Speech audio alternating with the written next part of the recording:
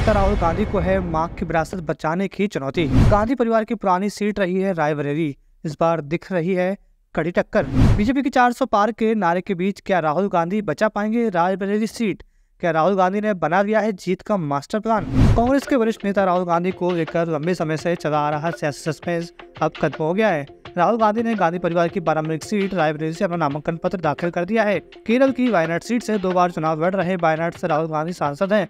अब यहाँ दूसरे चरण में चुनाव हो चुका है। राहुल गांधी रायबरेली से भी चुनावी ताल ठोक रहे हैं। उनका मुकाबला भारतीय जनता पार्टी, बीजेपी के दिनेश प्रताप सिंह और बहुजन समाजवादी पार्टी बीएसपी के ठाकुर प्रसाद यादव से होगा। हालाँकि यहाँ से अभी तक 24 लोगों ने अपना नामांकन दाखिल किया है। यूपी में कांग्रेस और समाजवादी पार्टी में गठबंधन है। इससे उनका मुकाबला सीधे सीधे बसपा और बीजेपी से है। रायबरेली देश की हॉट लोकसभा सीटों में शामिल है। क्योंकि यह गांधी परिवार की पुरानी सीट रही है, इसलिए राहुल गांधी के नामांकन के दौरान एक प्रकार से कांग्रेस का शक्ति प्रदर्शन भी देखने को मिला है। राहुल गांधी के साथ उनकी माँ सोनिया गांधी, बहन प्रियंका गांधी, बहन हुई रॉबर्ट वाड्रा। कांग्रेस अध्यक्ष मल्लिकार्जुन खड़गे, अशोक गहलोत, तेलंगाना के मुख्यमंत्री रेवंत रेड्डी समेत कांग्रेस के कई दिग्गज नेता और बड़ी संख्या में कार्यकर्ता दिखाई दिए। राहुल गांधी के नामांकन में भले ही कांग्रेस का शक्ति प्रसन्न दिखाई दिया हो, लेकिन उनके आगे अपनी माँ सोनिया गांधी की राजनीतिक विरासत को संभालना आसान नहीं होगा, क्योंकि राहुल का मुकाबला पुराने कांग्रेस दिनेश प्रताप सिंह से हो रहा है। दिनेश प्रताप सिंह वर्तमान में योगी सरकार में मंत्री है। दो से पहले वे कांग्रेस ही हुआ करते थे। दिनेश प्रताप सिंह पूर्व में उत्तर प्रदेश विधान परिषद के सदस्य रह चुके हैं। वे 2010 से 2016 और 2016 से 2022 तक एमएलसी रहे। 2018 में भी कांग्रेस छोड़कर बीजेपी में शामिल हो गए। तीसरी बार में फिर से जीते और योगी सरकार में मंत्री बने। 2019 के लोकसभा चुनाव में दिनेश प्रताप सिंह, रायबरेली सीट से सोनिया गांधी के खिलाफ बीजेपी के टिकट पर चुनाव लड़े थे और इस चुनाव में सोनिया गांधी को पाँच लाख चौतीस हज़ार वोट मिले थे, जबकि दिनेश प्रताप सिंह को तीन लाख सड़सठ हज़ार वोट मिले। यह सोनिया गांधी की रायबरेली अब तक की सबसे कम अंतर की जीत थी। इसके अलावा रायबरेली में दिनेश प्रताप सिंह के समर्थन में समाजवादी पार्टी के बागी विधायक मनोज पांडे भी आ गए हैं। इससे बीजेपी का पक्ष और ज़्यादा मज़बूत हो गया है, क्योंकि रायबरेली लोकसभा सीट भले ही गांधी परिवार की हो लेकिन यहाँ विधानसभा सीटों पर समाजवादी पार्टी का डंका बचता है।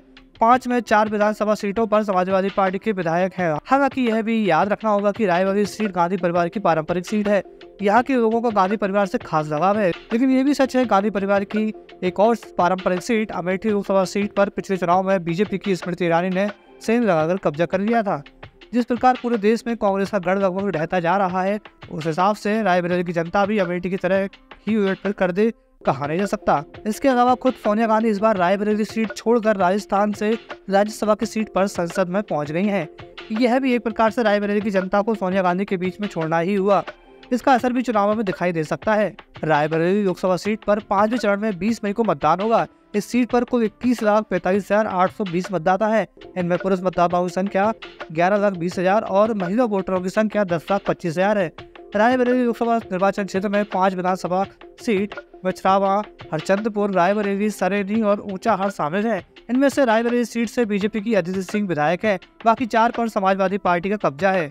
मनोज पांडे ऊंचाहार विधानसभा सीट से विधायक हैं। रायबरेली लोकसभा सीट का गठन उन्नीस सौ बावन में हुआ था उन्नीस सौ बावन और उन्नीस सौ सत्तावन के चुनाव में यहाँ से फिरोज गांधी विजयी हुए थे 1960 में कांग्रेस के ही आरपी सिंह और उन्नीस के उपचुनाव में बैजनाथ कुली चुनाव जीते थे उन्नीस सौ सड़सठ और उन्नीस सौ इकहत्तर के चुनाव में इंदिरा गांधी यहाँ से सांसद चुनी गई थी उन्नीस में यह सीट जनता पार्टी के राजनारायण के पास आ गई 1980 में एक बार फिर इंदिरा गांधी ने यहाँ से चुनाव जीता 1980 और उन्नीस सौ चौरासी में अरुण नेहरू यहाँ से सांसद चुने गए उनके बाद उन्नीस सौ नवासी और उन्नीस सौ ग्यारहवे में इंदिरा गांधी की मामी शीला को विजयी हुई।